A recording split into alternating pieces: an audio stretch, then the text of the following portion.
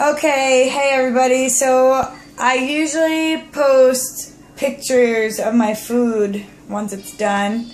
Um, but today I'm making something a little bit different and I'm excited to make it. Um, it's called a skirt steak pinwheel and has Parmesan cheese, lemon zest, fresh parsley, and of course the skirt steak. You do a little salt and pepper on the steak and then um, here's what they look like. So I already did that part of seasoning it. I actually added a little bit of minced garlic as well. Hold on, Jaden, hold like that. I added a little bit of minced garlic as well. Um, but it's very simple, like I said.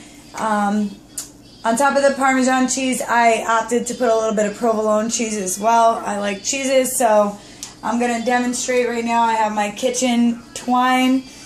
I'm going to demonstrate uh, rolling one of these pinwheels up. We're going to wrap it in twine and then um, I'll show you what we do from there. We'll make sure we get all the seasoning.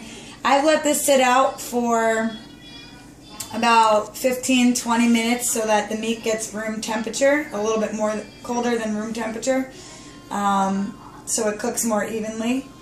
So I'm going to start here, and of course my hands are nice and washed before we started the video. I'm going to start rolling it up and then after I cut it I'll show you guys what it looks like in the center and of course how we are going to cook it. Don't do that. And I got Jaden, my little buddy, my son, videotaping for me. So right here, I'm going to start with the twine. Let me get, um, just keep that on there, Jaden. Let me get wash my hands again before I touch twine and the scissors. Hola. Let's paper towels here. Okay, so um, grab the scissors. So we're gonna do one piece on one side. Do you have a good view of it, Jaden? Huh? Yeah. So we're going to do one piece on one side, right here. Wrap it nice and tight. And cut it off again. Okay. And then we're going to do another piece on the other side here. Same thing, we want to wrap it up nice and tight.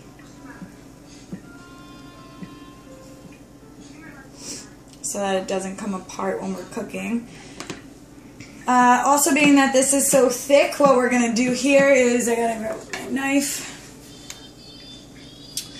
Push it up a little bit, please. Just like that, okay? Okay, I'm going to grab my knife and I'm going to do a nice cut down the center and hopefully we get what we're looking for, yes. So now we have um, two nice pinwheels here. Okay. So before I do the next one, I'm actually going to uh, start my oven over here. Just wait a sec, Jaden.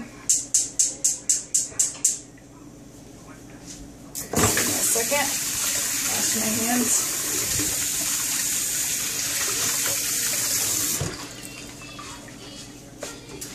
I mean, I did not flatten the steak anymore. Might have been a better idea to use a meat pounder, pound it down a little bit more thin, but we'll see how it cooks up. So I'll take this over. So there is what the pinwheel looks like uncooked. Again, we have lemon zest, we have parsley, we have Parmesan cheese, some salt, um, that I put on the steak first to tenderize it a little bit. And we have some pepper, and that's it. So, just give me a sec, Jaden. So now we're going to bring this over onto the stove. Have a little bit of butter in the pot. Okay, wait. We're going to heat this up.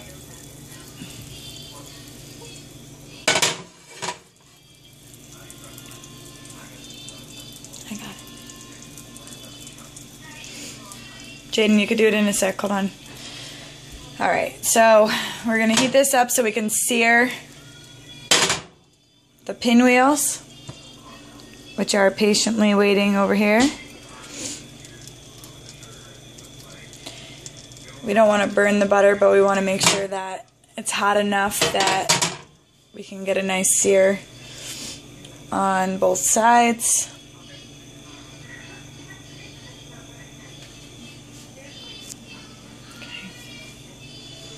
All right, so I'm going to start with this one first. Hear the nice sizzle. Move it around a little bit. Careful not to burn myself. And then we're going to do the same thing with the next one here. Starting on the hot part. Move it around, push it down a little bit to get a nice sear.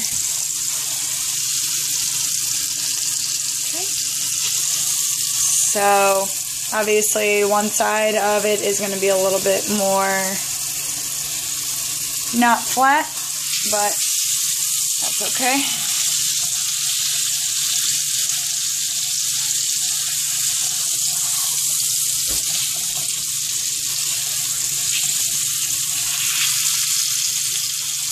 Make sure to sear what we can there.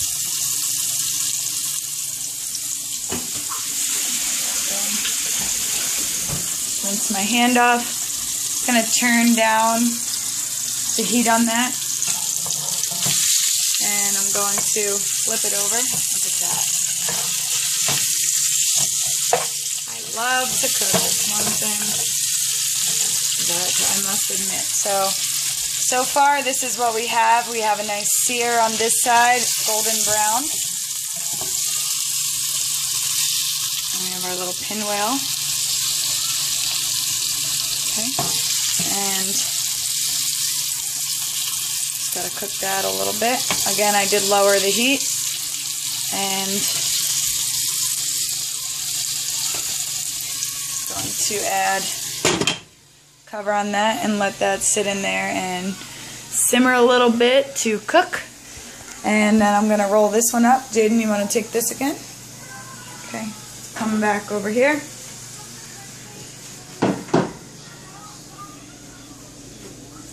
It up a little bit. And we're going to do the same thing to the next one. This one's a little bit thinner. And make sure we have all our seasoning on it. This one's a little bit thinner. And it's also has a little hole in it because I was trying to get some of the uh, muscle tissue out. Make sure we get all this goodness in there. Looks like cheddar cheese, but it's finely shredded uh, lemon zest. Okay. So we're going to go ahead and get the string again. And I got to cut this piece off because this one going to get one piece here. Cut it up nice and tight. Again. And then we're going to get another piece.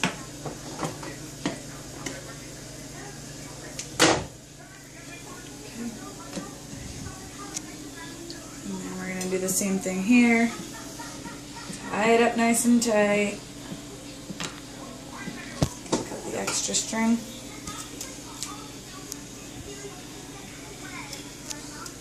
Okay. And then once again, the reveal. I'm going to cut right down the center. Should have used a better knife. This one's a little more tough. But all in all, a little more tough. Another pinwheel here. So I'm going to bring this plate over again. One's already searing up here. We're going to do the same thing. It's already nice and hot. So we're going to take our next two pinwheels and I'm going to do the same thing in here. These babies down, sear them up a bit in the hot pan. The other ones are coming along very, very nicely. Careful getting very hot. Careful.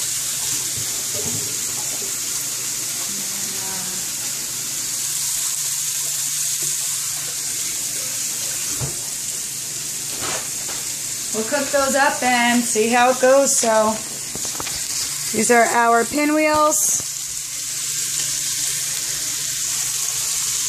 Cooking nicely. Nice sear on them. And uh, thank you for watching my video. I can't wait to eat. These are going to be scrumptious. Um, they're served basically, you just take the string off and you cut it right down the center and it falls apart into two pieces. Nice and tender and juicy. I'm going to lower this down a little bit. I like mine a little bit, uh, a little bit well done, but you can cook it as long or as much as you'd like.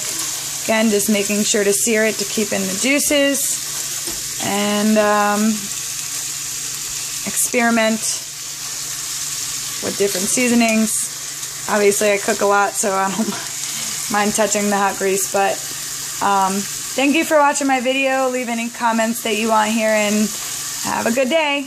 Thank you. Thanks, Jaden.